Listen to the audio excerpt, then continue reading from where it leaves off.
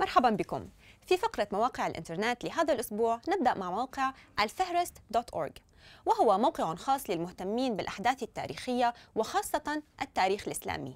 الموقع عبارة عن خريطة زمنية تفاعلية للحضارة الإسلامية وعلماء ذلك العصر. يستطيع المستخدم التنقل عبر السنوات لمشاهدة أماكن تواجد هؤلاء العلماء على خريطة العالم واستعراض أهم إنجازاتهم.